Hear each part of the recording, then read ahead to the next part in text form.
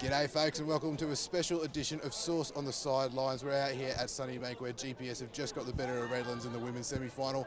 I'm here with Lock Alisha Hewett. Alisha, a really impressive performance from the girls there. What did you make of that? Oh, it was a really good start, uh, I think, to the game. The thing is, the forwards actually took the ball, had the momentum going forward, and really set the platform for the backs to be able to, you know, play around with the ball and get us those metres um, to finally, you know, cross us over the line.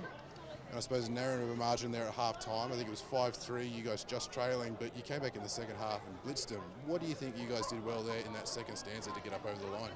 I think the difference between this game and the last games that we actually played is, you know, we had the belief and we actually we wanted to win. We were there to win.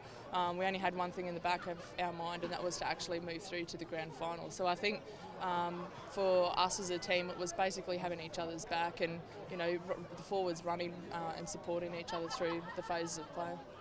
It's been a long time since GPS have been in the finals. How special is that to progress through to the GF and get the chance to face Sunnybank next weekend at Ballymore? Oh, it's, a, it's massive. So I started back with probably about six other girls in, I think it was 2013, um, when the Jeeps team first started up after a long time away.